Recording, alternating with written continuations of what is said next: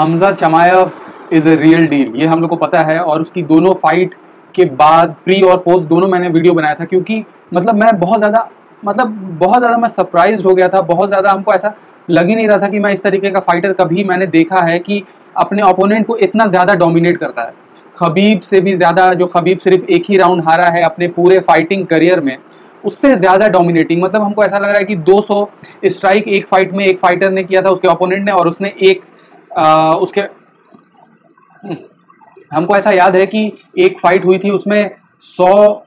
Strikes उसने strike किए थे और एक स्ट्राइक उसके ओपोनेंट ने किया था। मतलब कि ग्राउंड एंड पाउंड में ही इज़ द बेस्ट अभी जैसा हम लोग को लग रहा है और एमएमए कम्युनिटी में हम लोग देख रहे हैं। और डेना वाइट जो उसका बॉस है, एकदम हाइप डप हो गया उससे और उसने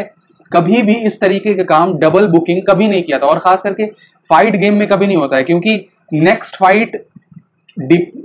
पर डिपेंड होता है कि फ्यूचर क्या होगा हारोगे या जीतोगे। अगर हारोगे तो दूसरा ओपोनेंट जीतोगे तो दूसरा ओपोनेंट लेकिन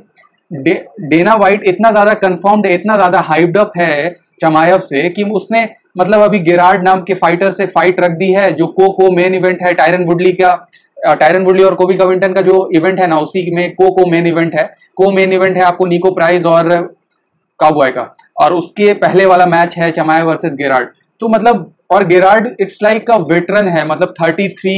फाइट्स जीती हैं उसने और 13 फाइट हारी है। मतलब इट्स लाइक लगभग 50 एमएमए प्रोफेशनल फाइट्स उसके ओपोनेंट ने खेली है। और हमको याद है कि जब से मैंने स्टार्ट किया है तो मतलब कि मेन कार्ड पे मैंने ग्राड को बहुत मतलब टाइटल कंटेंडर नहीं रहा है, लेकिन मैंने बहुत बार देखा है मेन कार्ड पे। मतलब ही इज़ लाइक अ मतलब मिडिल काइंड ऑफ़ गाय मतलब कि बहुत अच्छा एक तरीके से जर्नी मैन टाइप का जर्नी मैन भी नहीं मतलब जर्नी मैन थोड़ा और ऊँचा हो गया मतलब जो टाइटल कंटेंडर हारने लगते हैं तो जर्नी मैन कहा जाता है उनको लेकिन उससे थोड़ा सा नीचे मतलब ही इज़ अ रियल डील ये हमको पता है नोन फाइटर है ये। और उसके साथ चमायफ की फाइट की और उसके बाद से डेना वाइट ने कहा कि दो फाइट लगातार मतलब कि इसके बाद से डेम, डेमियन माया वाली फाइट भी बुक कर दी है उसने। मतलब कि ऐसा किसी के साथ कभी नहीं किया है मतलब कि ना कॉर्नर मेग्रेगर के साथ ना खबीब के साथ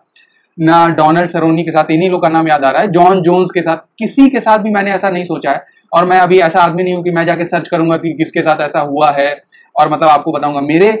फाइट जब से मैं फाइट देख रहा हूँ तो कभी हमको याद नहीं है ऐसा कि इतना ज़्यादा कॉन्फिडेंट होगा डेना वाइट किसी फाइटर पे कि डबल बुकिंग कर देगा। चमायव को वो मानता है कि रियल डील है और हम भी मानते हैं कि रियल डील है, लेकिन ये वाली फाइट अगर गिराड हारता है तो मतलब उसको बहुत ज़्यादा बैकलैश सहना होगा मतलब कि सोशल मीडिया पर लेकिन वो ये वाली फाइट उसने लिया है तो मतलब एक तरीके से वो हारता भी है, तब भी वो काफ़ी ज़्यादा मीडिया में आ जाएगा और मतलब उसको एक तरीके से बेनिफिट ही देगा मतलब ये वाली फाइट और वो उस तरीके का फाइटर नहीं बनना चाहता है, जो चमायव को मतलब एक तरीके से मतलब कि जर्नी मैन जर्नी मैन तब भी नहीं, लेकिन तब भी उस तरीके का फाइटर नहीं बनना चाहता है, जो चमायव को टॉप कंटेंडर बनाने के लिए मतलब वो ही is a piece kind of thing तो गेरार्ड ने कहा कि मतलब मैं जीतू या हारू, लेकिन अगली फाइट डेमियन माया के साथ मैं नहीं होने दूँगा चमायव को और मैं इतना ज़्यादा हर्ट करूँगा उसको चमायव को। ब्लैक बेल्ट है जिजिस्सू में तो मतलब ऐसा भी नहीं है कि ग्राउंड गेम उसका काफ़ी ज़्यादा खराब है मतलब कि सबमिशन बहुत ज़्यादा थ्रेट तो होगा चमायव को।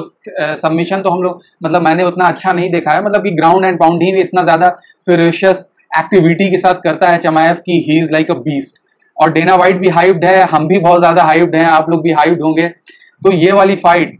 main event Tyron Woodley को मेन इवेंट निको प्राइज जिसकी फाइट हमेशा अमेजिंग होती है और काउ बॉय जो एक तरीके से जर्नी मैन हो गया है तो ये वाली फाइट काफ़ी ज़्यादा इंटरटेनिंग होगी और उसके बाद से चमाया और गेराड तो मतलब this fight is fun man and this fight cause is more than fun